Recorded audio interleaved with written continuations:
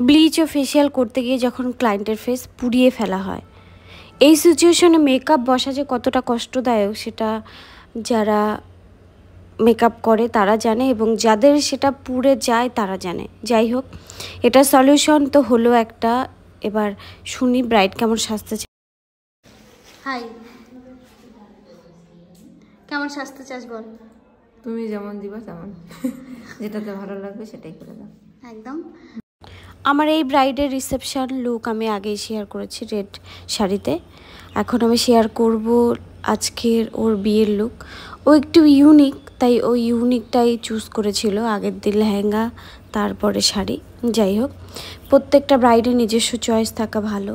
তবে তাদের মত অনুযায়ী আমি মনে করি তারা যেটা ভালো বোঝে বা তারা যেটা মনে করে যে আমি এটা পরবো, তাদের ইচ্ছের দাম দেওয়া আমার মতে উচিত।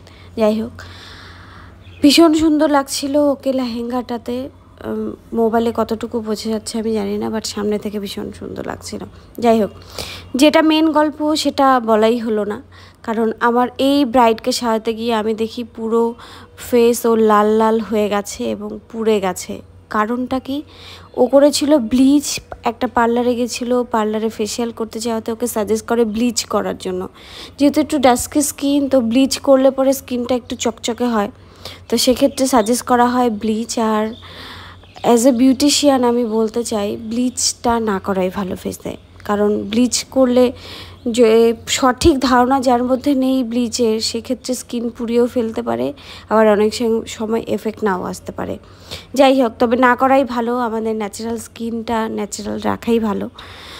আর ওর এই বার্ন হওয়ার কারণে মেকআপ বসাতে ভীষণ পরিমাণে প্রবলেম হচ্ছিল আমার। যখন মেকআপ করলাম তখন তো ঠিক ছিল একটু পরে কেমন ড্রাই ড্রাই হয়ে যাচ্ছিল, আমি নিজেই বুঝতে পারছিলাম। কারণ প্রচণ্ড পরিমাণে স্কিনটা মানে কি বলব? বলে বোঝানোর ভাষা নেই, খারাপ হয়ে যাচ্ছিল একদম। কেমন লাগছিল যেন চামড়া উঠে উঠে আসবে এরকম একটা সিচুয়েশন বরফ দিয়ে যতটুকু ম্যানেজ করার করলাম, তারপরে আমি যতটা পারলাম ফাইনাল লুক দেওয়ার চেষ্টা করলাম। আমি একটা হাফ কাট ক্রিজের ওপরে লেহেঙ্গার সাথে ম্যাচ করে একটা আই লুক রাখার চেষ্টা করেছি, তোমরা দেখে জানিও। ওকে কেমন লাগছে? আর ফাইনাল লুক তো অবশ্যই শেয়ার করব। ব্রাইড অনেকগুলো ফুল এনেছিল, তার জন্য এত সুন্দর একটা খোপা হয়েছিল, কি বলব? এই খোপার টিউটোরিয়াল আমি একদিন তোমাদের সঙ্গে অবশ্যই শেয়ার করব, ভীষণ ভালো লাগছিল।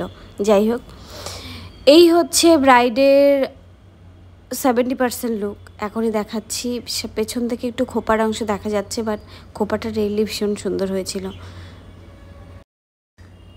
মেকআপের পরে হাসিটা না ভীষণ ইম্পর্টেন্ট যতক্ষণ না তুমি মন খুলে হাসবে, তোমার মেকআপটা কখনোই ফুটবে না। সেটা আমি আমার সব ক্লায়েন্টদেরকে বলে রাখি।